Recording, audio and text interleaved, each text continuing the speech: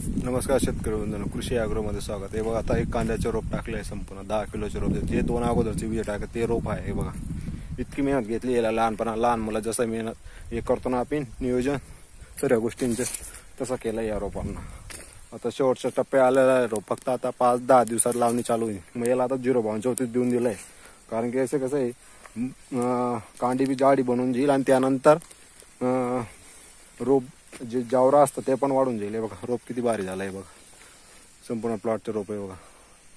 रोप एकदम भारी होऊन गेलं ला लावणीचं. त्यामुळे आणि कसं आहे, वातावरण आता हे जे दगड वातावरण आहे त्यामुळे बुरशीनाशकची फवारणी एक दिवस आड केली गेली पाहिजे सर्व शेतकऱ्यांनी. आणि एकदम लहान मुलासारखं एकदम बारीक नजरने याच्याकडे लक्ष द्यायला पाहिजे. सर्वात महत्त्व म्हणजे आता रोप बसण्याचं कारण आहे. त्यामुळे काळजी घ्यायची शेतकऱ्यांनी. कारण की कसं इतकं महागाचं बियाणं टाकतो आपण. हे बघा.